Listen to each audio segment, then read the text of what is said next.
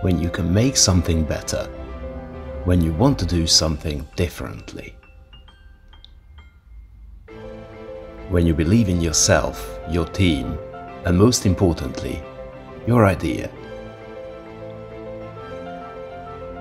Then you know your efforts deserve a different way of presenting for a whole different level of success.